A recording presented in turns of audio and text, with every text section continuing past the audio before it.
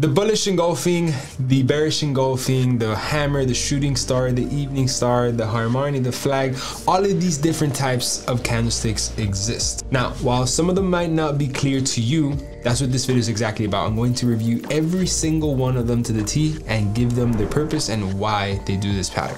All of these different lines, colors, shapes, patterns are all going to make sense in this video because all of these patterns and these shapes in the charts they're more than just lines or colors on the charts. These are actual movements that happen time and time again because of other traders and you can actually capitalize off of them. And in this video i'm not to only tell you how to recognize them so you can see them in the charts. I'm to actually tell you like how the fuck they work and you can use them to your advantage every single time. So with no further ado let's get started. But wait before we get started out of all of these patterns that I'm going to teach you, you don't need to use every single one of them. I'm going to teach you so you know what they are, but all you have to do is master about five to 10 of them, and that's all you need to be successful. I will be pointing out the ones that I use every single day to be successful and the ones that you will not need to use. I'm going to still teach you what they are and how they're able to be used, and you can learn from them just so you have the peace of mind and you know what they are. So when you see them in the charts, you can identify them and not know what they are. But just know that you don't need them to be a profitable trader. So with that being said, let's begin. So first things first, what is a candlestick pattern? To understand that charts are made up of different types of movements. There can be a line chart, there can be a bar chart, mostly known as the candlestick chart. So all of these red and blue boxes or black and white boxes, you can change the colors however you want, with lines at the top and lines at the bottom. These are called candlesticks because you see that little line at the top of the body of the box. That's where you're supposed to light the candlestick. So obviously the candlestick come out. When you take that to the charts, it looks like that on obviously the chart. So the candlesticks are called candlesticks because they look like candlesticks. So you have to keep in mind, obviously the larger the candlestick, the bigger the move. The smaller the candlestick, the smaller the move. Each and every single piece of information that the candlestick is giving you is to your advantage. If the candlestick ends up with a big body, it means something. If the candlestick ends up with a small body, it also means something. And if the candlestick has no body and it's just a line and a little box, that also means something very effective. So in other words, when you're identifying candlesticks, you have to understand that every single box, every single line means something whether it's towards the favor of your potential trade or towards it is against it. So you have to make sure that you read it the right way. And keep in mind, these candlesticks happen across different time frames and they have the same type of look, but they have different types of effect. But we'll get into a little bit more of that later in the video. So up to this point, you understand that it's necessary to learn how to read exactly what each candlestick means. So let me get into the first example of what is known as the long day. So pretty self-explanatory. It's when a candlestick has a long body. This long body is pretty much identifying that this market has a lot of momentum. It is simply showing you that that day's momentum was very strong and that the next day's momentum should continue with that, giving you an indication whether you're in the trade to continue to hold it or if you were about to get into a trade to reconsider it because either the momentum is going in your favor or against it. The most common colors are green and red. So for this video example, we'll be using green and red candlestick examples. And the most common example is obviously a big green candlestick. So that indicating that the buyers are in the market. And if there is a big red candlestick, that means that the sellers are in the market. This big candlestick is known as the long day. Contrasting with the long day is known as the short day. Same thing as a long day, it's pretty self-explanatory. If there's not a big body or a big wick, this is pretty much called a short day. Also known as choppy market or slow market consolidation, pretty much all the same thing. Sums up what is called a short day because the market didn't move much, which is inevitable. The market some days moves very fast, some days it moves very slow. When you learn how to read that, then you can obviously capitalize off of that. And this pattern is a direct correlation with indecision in the market. The market doesn't know if it wants to continue strong in one direction or if it wants to reverse and go to the other side. So this is a strong indication that the market is undecisive and that it is planning its next move. Next example is the belt hold line. A belt hold line is a simple long candlestick, green for bullish and obviously red for bearish opening its low or high and closing near the opposite end of the range. It signifies a potential reversal in the current trend, especially when it occurs after a significant downtrend or uptrend, which is also known as a rejection in the market when you have that big wick. So that means that the candlestick has essentially melted and all that you see is the wick. Obviously on a real candlestick, the line that you burn on fire, it pretty much melts and it breaks off. Here in the market, the candlestick actually went down, but the line stays there as a trail, meaning that this candlestick is now done. So it's rejecting. Moving on now to morning stars. So there's morning star and then there is an evening star. It's pretty self-explanatory. Morning star is pretty much the day is getting started, so everything is up. And that is exactly what the morning star is. The morning star is considered of three different candlesticks. It's considered of one red candlestick, one candlestick that stops, and then one bullish engulfing candlestick. It's pretty much showing a complete reversal now that the market is going to head to the upside. This is personally one of my favorite candlesticks and patterns that I use every single day when I'm interested in buying. And then next we have evening star formation, which is very self-explanatory as well. It's like when the sun is going down. This is a reversal pattern that the market is now is going to head to the downside. It's the same thing as the morning star, but pretty much reversed. It is consisted of a red candlestick that approaches, followed by a small rejection, then a bearish engulfing candlestick, reversing the market to the downside. This as well is one of my favorite entry signals to enter the market, along with my set and forget strategy and everything that I apply with it. These two are one of the most effective and most powerful entry signals that you can possibly ask for. Obviously the time frames gave a big factor into it, but I would definitely write these down and put a star into it because this is what I use every single day in my trading. Followed by the shooting star. The shooting star doesn't quite look like a shooting star, but if you get a little visual with it, you can. So this is a candlestick that appears at the end of an uptrend or a potential end of the, of the uptrend, which it consists of a very small body and a large wick, which is indicating to us that it has no power to continue to the upside and it is rejecting the upside. This is indicating to us that buyers are no longer pushing the market and that the sellers are stronger than the buyers. This is as well as one of my favorite entry signals because if I'm looking for a reversal pattern confirmation, I want to see that the sellers are no longer winning and that the sellers are now in the market. So the shooting star is my one of my top favorite ones as well. So definitely write it down and put a star next to this one. Next we have the two crows. So this is a bearish reversal pattern occurring in an uptrend. It's with a long green candle followed by a similar red candle that opens with the body of its previous candle and closes lower. This pattern indicates a shift from buyers to sellers. Next, we have three inside up and down. So this is actually very simple and it is very effective. We have three inside up. It is a bullish reversal pattern that begins with a large red candlestick, followed by a small green within the body of the previous candle and the third candle that closes above the first candle high. And then we have three inside down, the bearish version that starts with a large green candle, followed by a small red candle, and then a third candle that closes below the first candle lows. Next, we have three outside up and down, which is pretty much the opposite. Three upside up is a bullish pattern signifying a reversal. It starts with a pair forming a bullish engulfing pattern, followed by a third candle closing higher. And then we have three outside down, which is a bearish reversal pattern, beginning with a pair forming a bearish engulfing pattern, followed by a third closing lower.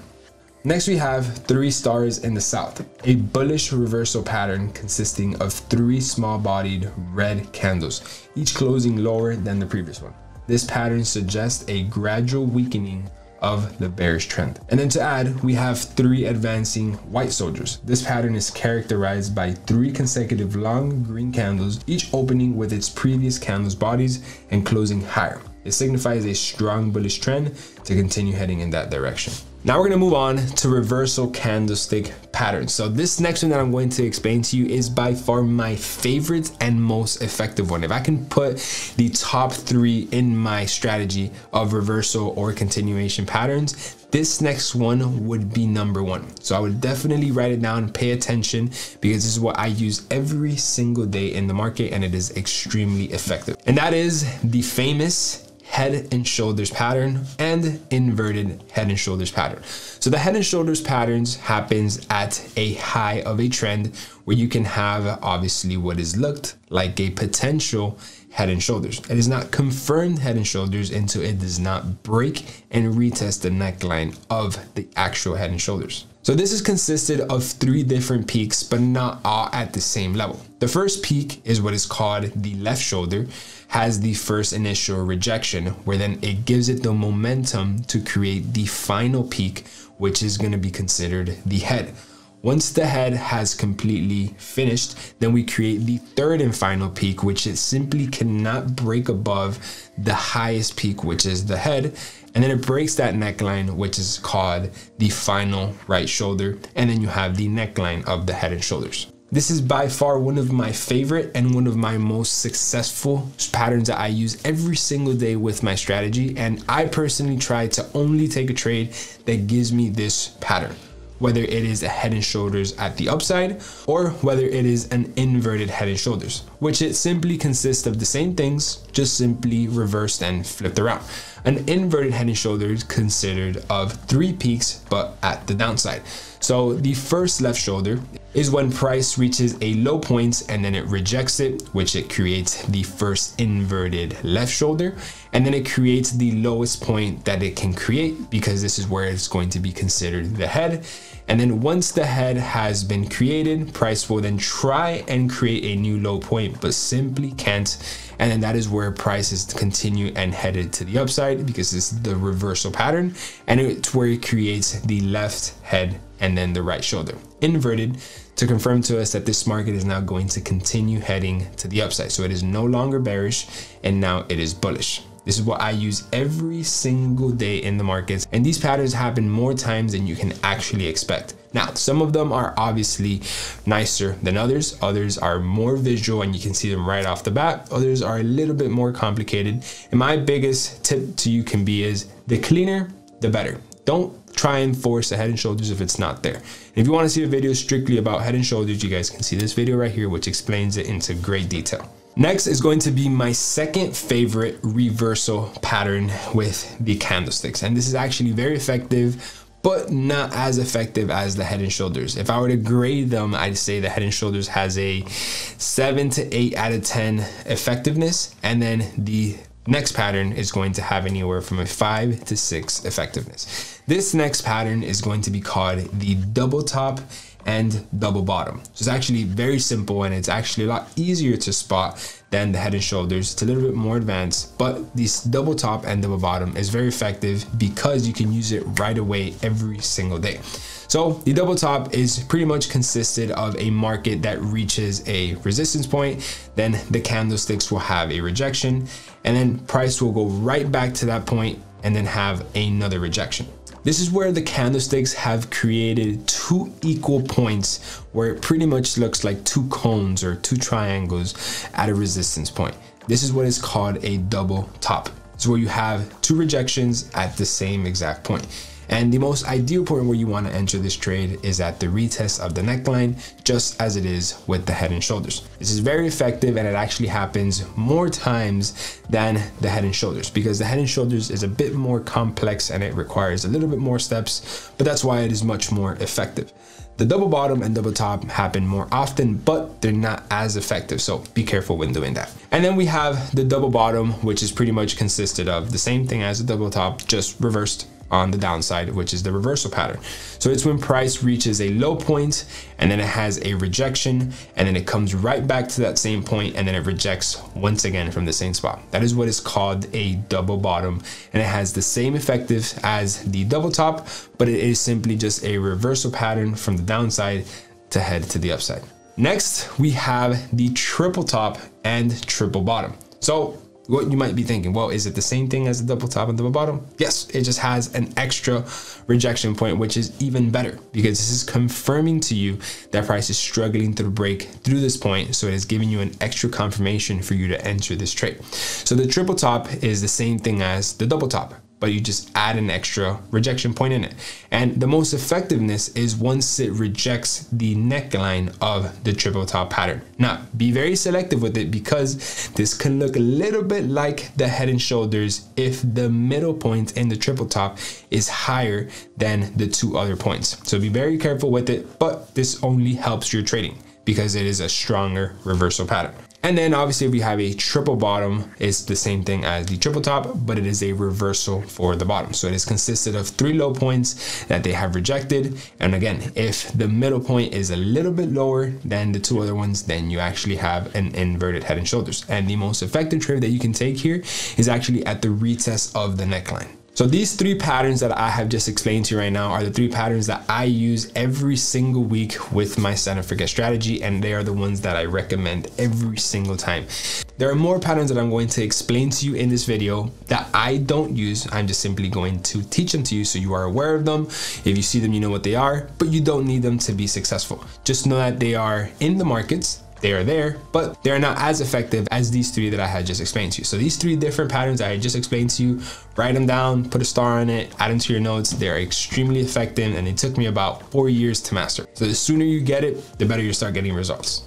Next, we have the hammer and the inverted hammer. The hammer is pretty much a bullish reversal candlestick that happens at the bottom of a downtrend, categorized by a small body and a long lower wick which is resembling a hammer. You can pretty much grab it and hit something with it. Also the reversal of a shooting star. And then you have the inverted hammer, which is also a bullish reversal pattern. It appears as the bottom of a downtrend and has a small body and a long upper body wick. To add to that, we have the hanging man and the shooting star. I know we spoke about the shooting star up above, which it was actually noted because it is one of my favorite rejection patterns, as well as the hanging man, which is pretty much the opposite of it. The hanging man is a bearish reversal pattern that appears at the top of an uptrend and it looks like a hammer, but occurs in a different context. And then a shooting star is a bearish reversal candlestick at the bottom of an uptrend with a smaller lower body and a longer upper wick. Moving on now to my, I think, top two, top three confirmation entry signal is going to be the bullish and bearish engulfing candlestick. So I would have the morning star as my first one, and then I would have my bullish and bearish engulfing candlestick as my number two. So what is the bullish and bearish engulfing candlestick? It's actually very simple and very self-explanatory. When something is engulfed, that means that it is bigger than the previous. It is eating the last subject. Well, that is exactly what is happening here with this candlestick. The bullish engulfing candlestick is pretty much eating at least a minimum of the last two candlesticks. And this can happen at a support level or as a continuation pattern. And then the bearish engulfing candlestick is pretty much when the bearish candlestick eats the last two confirmations. Now, be very selective with this type of confirmation because it can look very similar to the morning star and the evening star formation. It is very, very, very similar and it is not anything bad if you have a morning star or if you have a bullish engulfing or if you have an evening star or if you have a bearish engulfing. It simply is only going to make your trade better. It's only going to make you more confident taking this trade. This is simply just so when you're taking your trades and you're writing down your confirmations for accountability and when you're reviewing your trades, you see if you take more of Morningstar or if you take more of bullish engulfing candlesticks. But you shouldn't avoid taking a trade because you don't have one or the other. Again, this is there's a reason why both of these are part of my top two on my and forget strategy simply because of how effective they are. I use them every single day and I will not take a trade if I don't have either a bullish engulfing or a morning star formation or if I don't have a bearish engulfing or an evening star formation. It's only going to make your trade better and the only reason you should identify them is so when you're reviewing your trades you can identify what you take more versus not. Next, we have the Harami candlestick, which is obviously used as bullish and it is used as bearish. The bullish Harami is a small green candlestick completely contained with the body of the previous large red candle, indicating a potential bullish reversal. And then a bearish Harami is pretty much the opposite, where a small red candle is contained with a large green candlestick, signifying a potential bearish reversal. Next, we have the piercing line and the dark cloud cover. A piercing line is a bullish reversal pattern at the end of a downtrend, starting with a long red candle followed by a long green candlestick that opens lower but closes above the midpoint of the first candlestick's body.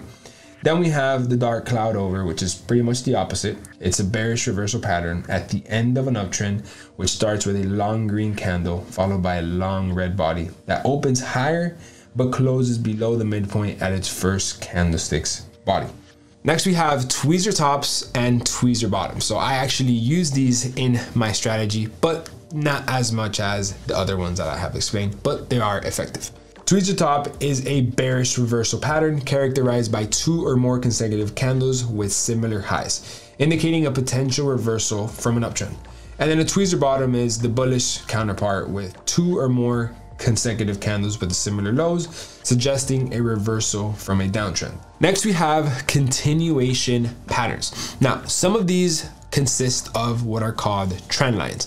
I strongly am against trend lines simply because I believe they are subjective. I don't think something that somebody can see a certain way and use a certain way can be considered successful or profitable because everybody looks at it different. I think something that is successful and profitable is I give you a system, you apply it, and it is the same for everybody and you use it the same way. So when it comes to some of these patterns, I personally don't like them, but I'm just gonna bring awareness to them to you.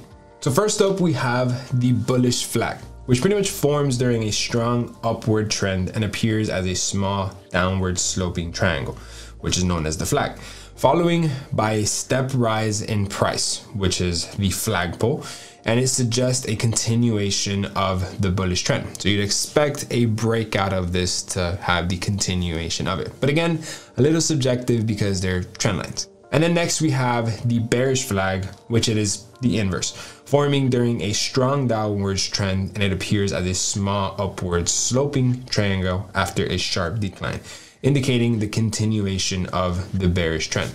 Next, we have what are called pennants, bullish and bearish pennants, obviously. A bullish pennant resembles a small symmetrical triangle and appears during a step upward trend. It suggests that the bullish trend will likely to continue. And then we have a bearish pennant, which occurs in a downward trend resembling an upside down symmetrical triangle. It indicates the continuation of a bearish momentum.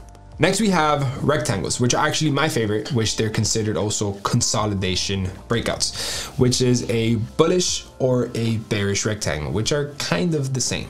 A bullish rectangle formed by two parallel horizontal lines acting as the support and the resistance during the bullish trend. If you want to know more about support and resistance, you guys can see this video right here, which it explains everything to the detail of how I use support and resistance every single day. So after the support and resistance is identified as a bullish trend, indicating that the upwards trend is likely to continue after the period of the consolidation. It's pretty much a break and retest strategy to continue to the upside. And then we have a bearish triangle, which is actually the same exact thing as the bullish one. We're just expecting a breakout of this box to actually happen to the downside. These are my favorite type of breakouts with these patterns because it is the most simplest and not only the most effective, but is actually the most legit simply because it's just a box. It is called a box because you just get one tool and you can see the box visually right in front of you. Not saying you don't see a triangle in front of you, but I don't think is as clear, as effective as the consolidation box simply will. Next, we have the ascending triangle which is categorized by a flat upper trend line and an ascending lower trend line. It's typically bullish and suggests a breakout upwards. And then next we have a descending triangle, which features a flat lower trend line and a descending upper trend line. The pattern is typically bearish, indicating a potential downward breakout. And then we have a symmetrical triangle formed by a converging upper and lower trend lines. This pattern can tilt either way and suggest a breakout in the direction of the prevailing trend. Next, we have the famous rising and falling wedges. I use these at the beginning of my trading, but I found no success in it, so I don't use them, but I'm here to explain to you what they are.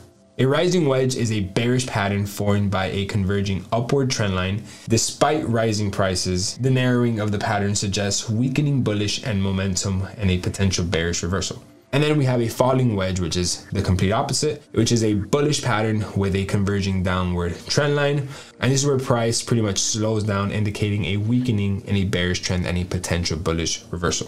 Next, we have a on neck in neck. A on neck line is a two candle bearish pattern in a downward trend, where the second candle opens with a gap down but closes near the low of the previous candle, indicating a continuation of a bearish trend. Then we have the in neckline, which is similar as the on neckline, but the second candle closes slightly in the body of the previous candle, still signaling a bearish trend continuation. Then following, we have a thrusting line, a bearish two candle pattern in a downtrend.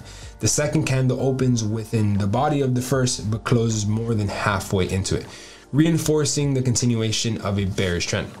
Next, we have what is called the neutral or undecisive candlesticks, which are also known as dojis. So we've actually seen dojis earlier in the video, and they're actually very effective along with a bullish engulfing, bearish engulfing, a morning star, evening star, and multiple other candlestick patterns. But the dojis alone, they are also extremely effective and can be capitalized every single day in the market. Now, sometimes you have to know when to be away from them because they're just undecisive, which is what dojis are, and they can pretty much slow down your trade, whether you are in it or whether you are looking to get into it. And they can also continue your trade, whether you are in it or looking to get into it. So dojis are very, very effective, but you have to be very, very careful with them. Depends on what they are telling you. So let me explain.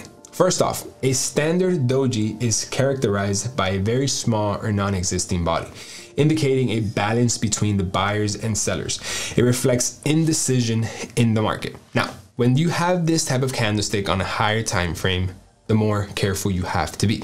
You're not supposed to like indecisive markets simply because they can slow down your trade or they can simply not let you get into the trade because the market is simply not moving enough. I've seen these dojis, these standard ones, these undecisive that they have gone for weeks at a time. Weeks where the market is, at the exact same point. Does it move up? Does it move down? It only moves up and down enough to create the doji. It's actually very useful because by you seeing this, you're like, well, I don't want to be involved in a market that is not going to have any momentum. So you simply step back and get away from it. So this is very useful for you to learn. Next, we have the long-legged doji, which is similar to the standard doji, but with the longer wick suggesting a greater level of indecision and a struggle between the bulls and the bears.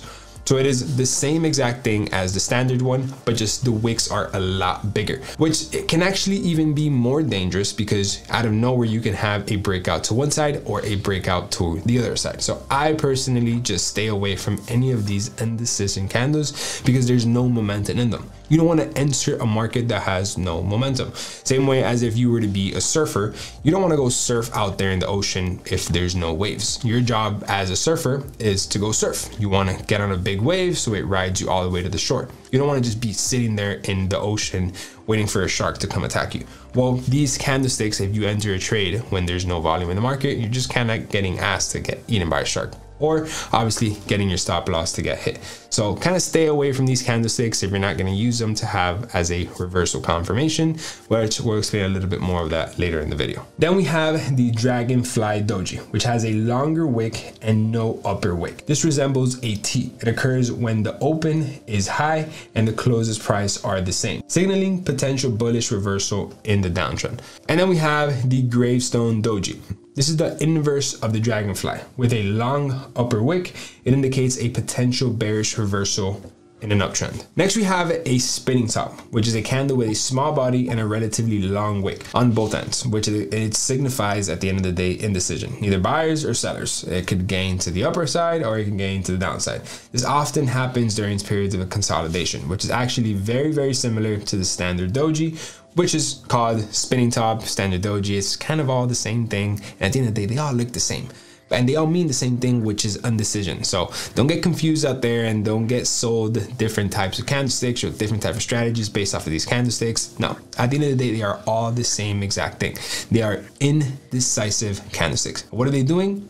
They're not doing anything. So you can't build the strategy off of nothing. Now, yes, you can use them as a confirmation that it is having indecision at a resistance level or at a support level and that it is rejecting it and then you can enter the trade then. Now, yes, but you cannot confirm that without having other pieces of a strategy that lead you to that point. You simply can't just trade these candlesticks alone. You need to have a strategy behind that. Next, we have one of my favorite continuation candlesticks, which is a Marubozu candlestick.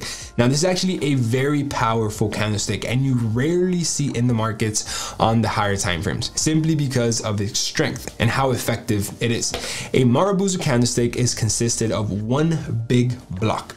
That's it no wick at the top, no wick at the bottom. Meaning from the moment the market opened, it just went all the way up and then it closed. There was no fluctuation. Price didn't have a wick. Price, the sellers couldn't, you know, pull the market back, nothing. Now, this Marubozu is a bullish Marubozu, and then it is a bearish Marubozu.